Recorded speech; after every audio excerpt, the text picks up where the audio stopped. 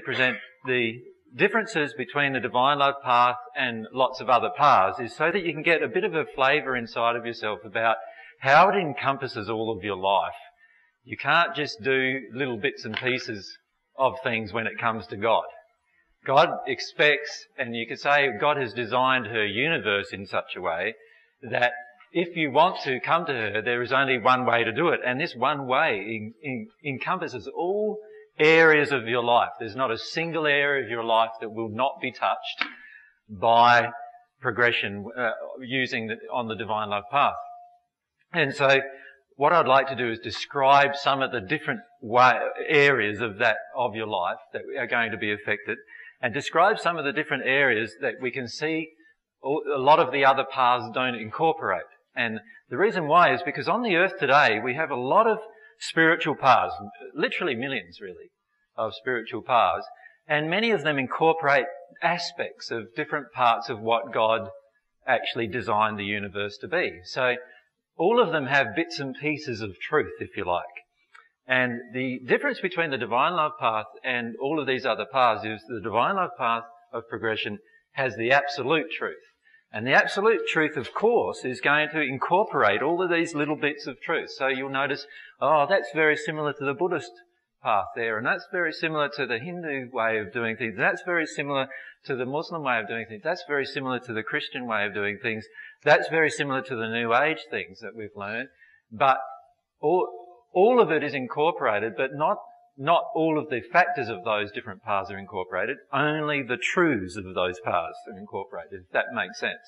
So what you finish up getting is this whole life experience that is incorporated and, and your connection with God will change your entire life completely. It actually not only changes your life, but it actually physically changes your, your, your soul and your spirit body and your material body. So, for example, on all the natural love paths, they often talk about the seven chakras, for example, right? And in terms of keeping all of these chakras open and progressing that way. On the divine love path, there is actually more chakras that your body starts to develop. And after a while, once you become at one with God, I think there's 13 chakras once you become at one with God, not seven anymore. And so your, even your spirit body changes. And so, um, and while I haven't remembered everything about how it all changes and everything, because of my own emotional suppression about my own fears that I'm working my way through now, the reality is that uh, the, physical, the physical body changes. What, what will happen on the divine love path is your physical body will start releasing its ailments. Right? And you'll get to the point where you have no ailments, no sickness, no disease at all. But when you're going through different emotions, those ailments will flare up until you've released them. And so you get this cycle of things going on even with your body, your physical body, where your physical body ha- makes adjustments and changes. So my body has made huge changes um, over the five or six years that I've been really focused on doing everything again, and the body has just changed immensely. You also have, you will also find yourself that in the first century, I said the eyes are the window into the soul. And you, when you look in a mirror, any of you done iridology? Yeah, quite a few. So when you look into a mirror, you'll notice these blemishes and specks in your eyes all the way around the iris um, and in the coloured section. And you will notice even that clears up. You'll notice all of that, which is a reflection of what's clearing up in your body.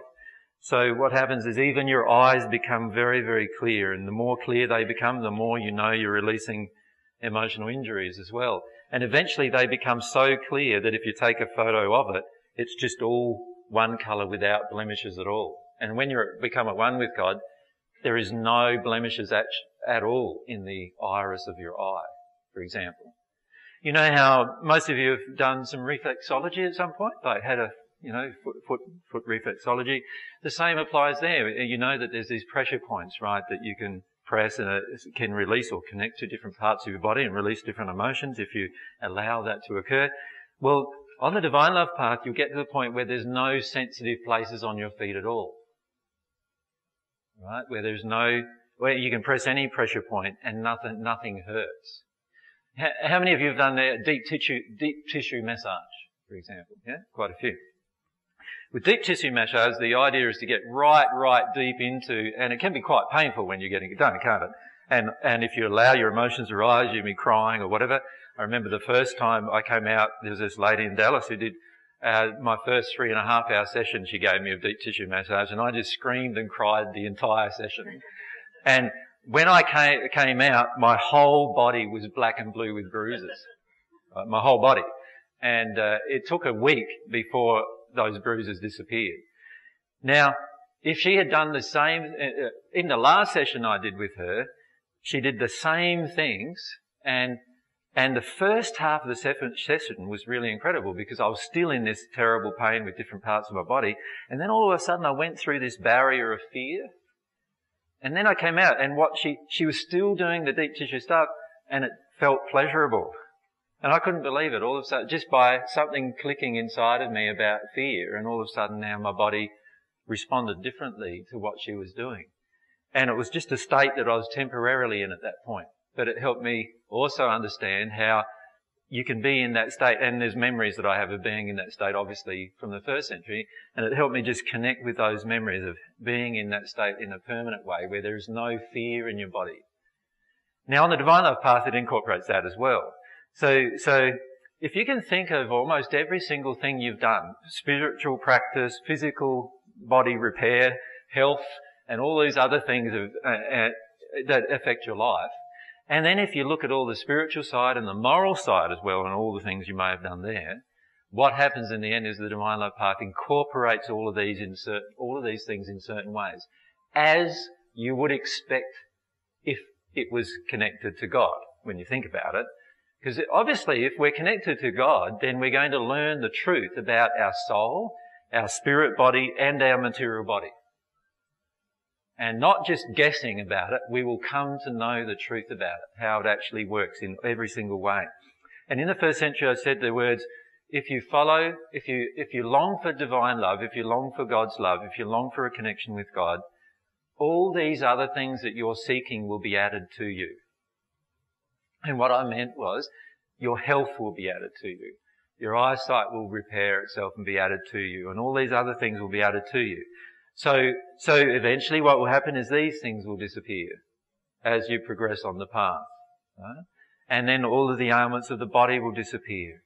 If you have any body distortions because of emotions due to your growing up, they will disappear. So some of you might grow a few inches taller, for example, right? Because of the different things that occur in the body as a result. And because in the end, all of these things are all affected by the emotions that the soul is storing.